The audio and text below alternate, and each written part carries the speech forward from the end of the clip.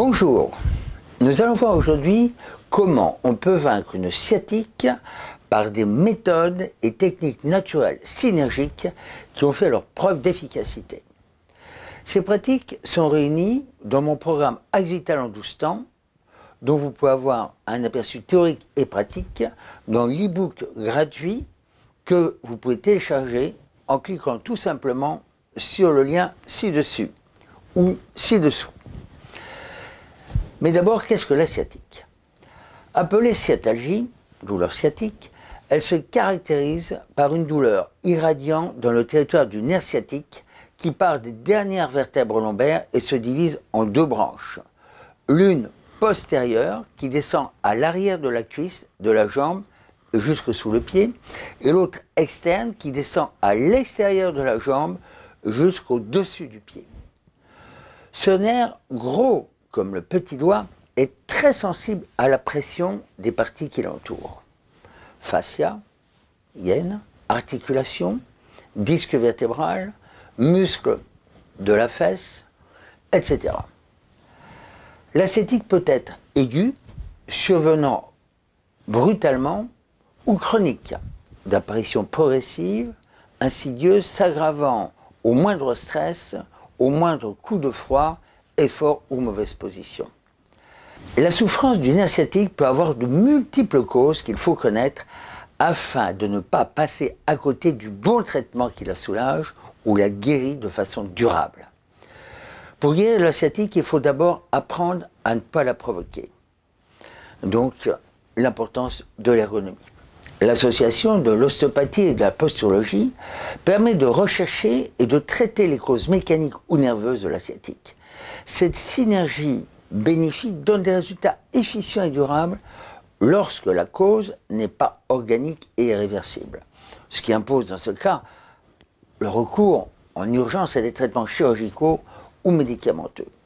Mais il y a aussi d'autres causes, moins graves, mais tout autant handicapantes, plus difficiles à trouver et que seul un bilan ostéopostural approfondi est susceptible de mettre en évidence, comme par exemple l'existence de lésions ostéopathiques ou posturales, non pas localement mais à distance, ou encore l'existence de champs perturbateurs, notamment dentaires, oculaires ou podaux, qui parasitent le système nerveux et créent une inflammation silencieuse chronique responsable des douleurs et de l'impotence fonctionnelle. Quelle différence y a-t-il entre sciatique et sciatalgie? La simple irritation ou compression légère du nerf sciatique peut provoquer une névragie, voire même une paralysie partielle appelée parésie ou une sensation bizarre de fourmillement qu'on appelle une paresthésie.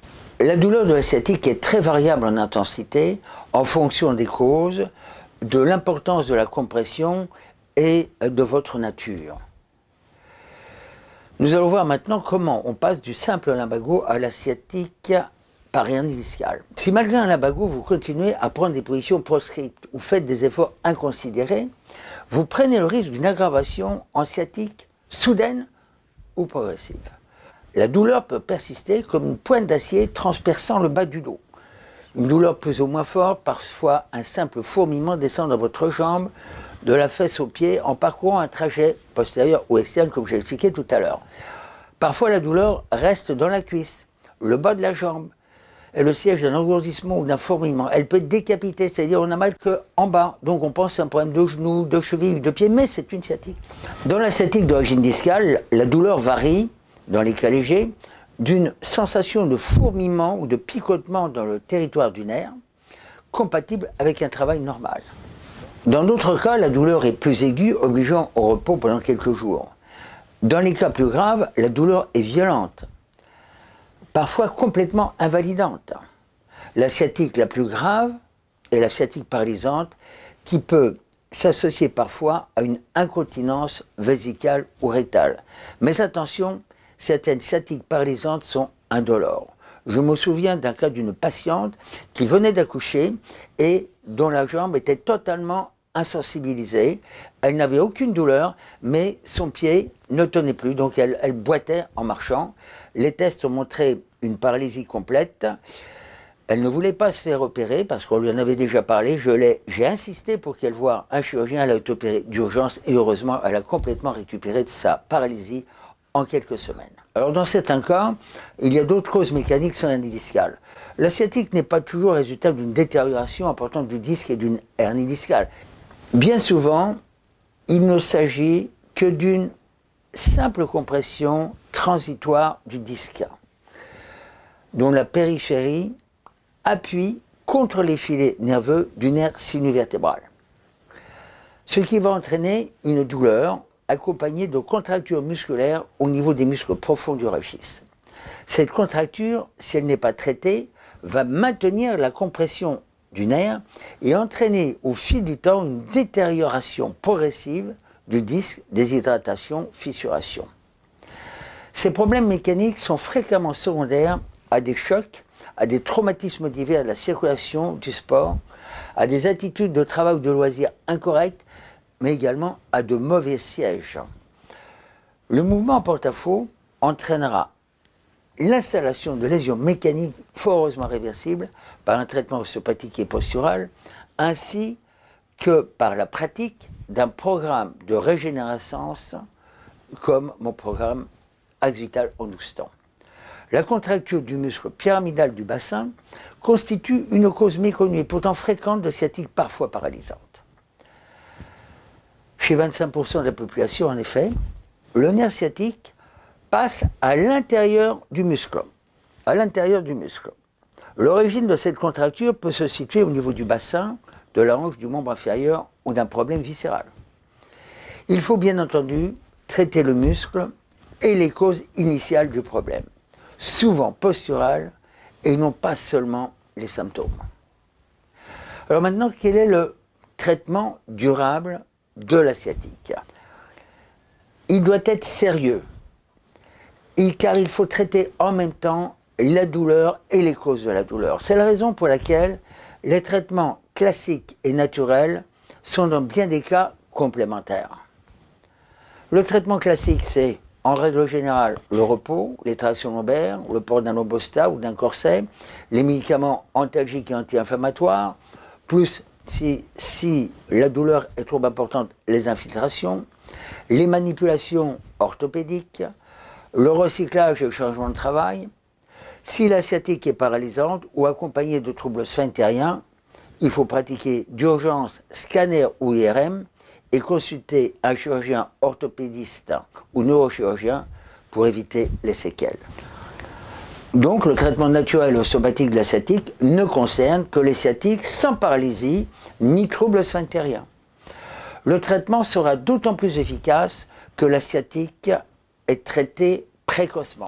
Mais si on est sérieux, il faut commencer dès la crise aiguë améliorée et le transport possible. Si la sciatique est vue tardivement, c'est-à-dire quelques semaines, quelques mois, voire quelques années après, ne désespérez pas, il y a peut-être une solution, mais sachez que le traitement sera plus long et nécessitera de votre part une prise en charge de tous les instants pour éviter la rechute et l'aggravation à plus ou moins court terme. L'amélioration et la guérison sont à ce prix.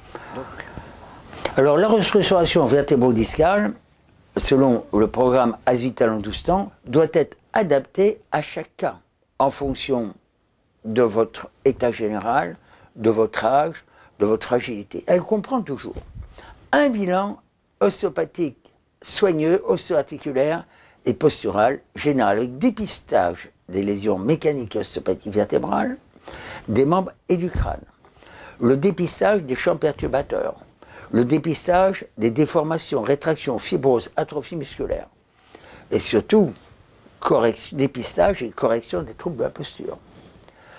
Une remise en ordre de l'ensemble du système osseux particulier par ostéopathie, déblocage et étirement des fascias et traitement des muscles rétractés et fibrosés, un massage des points clés, des points gâchettes, par les techniques, donc soit de massage, acupuncture et dérivés, chaleur locale, dans le but de soulager les nerfs, de décontracturer les muscles et de faire circuler l'énergie et le sang pour réduire l'inflammation chronique d'origine microcirculatoire. Décompression générale et discale sur table d'inversion de gravité, Si vous possédez une table, vous pratiquerez chez vous une à quatre séances par jour de 5 à 10 minutes chacune. Inclinaison de la table à 45 degrés selon votre tolérance. À défaut de table d'inversion, suspendez-vous à une barre, un espalier, tenir au moins 30 secondes et une minute, mais comme c'est difficile, je vous conseille d'utiliser plutôt une sangle élastique de musculation. Utilisation de bains aromatiques à base de bouleau jaune, romarin, pain maritime, on appelle la formule musculaire, exercice d'étirement du programme de renforcement du dos et musculation progressive de type gainage, soit seul, soit sous le contrôle d'un kinésithérapeute au début, mais il faut ensuite vous prendre en main et pratiquer un programme journalier de renforcement des muscles faibles et d'étirement des muscles qui ont tendance à se rétracter. Enfin, je préconise le port d'une ceinture lombaire permanente au début et ensuite systématiquement à chaque fois que vous effectuerez des déplacements en voiture, également pour les travaux de bricolage, ou si votre travail nécessite des efforts de soulèvement. C'est une précaution que j'applique personnellement dans mon travail à chaque fois que je dois soulever un patient lourd ou handicapé. J'insiste particulièrement sur la prévention active au travail. C'est l'apprentissage des bons, gestes non seulement au travail, mais aussi dans la vie quotidienne. Je conseille systématiquement l'aménagement de votre poste de travail afin de ménager les disques lombaires toutes les 30 à 45 minutes et si nécessaire, recyclage et changement d'activité en cas de détérioration discale sévère si vous avez un travail qui nécessite d'effectuer des efforts ou de mauvaises positions répétitives les sports seront sélectionnés parmi ceux qui ne présentent aucun risque discal. Je conseille l'arrêt impératif de tous les sports à risque, sous peine de récidive et d'aggravation. Pratiquer la natation, le stretching vertébral, l'aquagym, l'aquastretching, les techniques orientales douces, le yoga, en évitant les postures à risque, bien entendu. Enfin, les cures thermales et de thalassothérapie ne pourront que consolider le traitement. Maintenant, si vous voulez en savoir un peu plus, je vous conseille le téléchargement de mon e-book gratuit, Comment vaincre la lombalgie esthétique chronique, qui résume mon programme de formation personnelle à santé durable, qui est disponible maintenant en ligne. Vous y trouverez aussi une vidéo gratuite sur un moyen simple et super efficace pour éviter de fatiguer vos disques et cartilages vertébraux, des hanches et des genoux. Il vous suffit pour cela de cliquer sur le lien ci-dessous ou sur cette icône je vous dis à très bientôt pour une autre vidéo.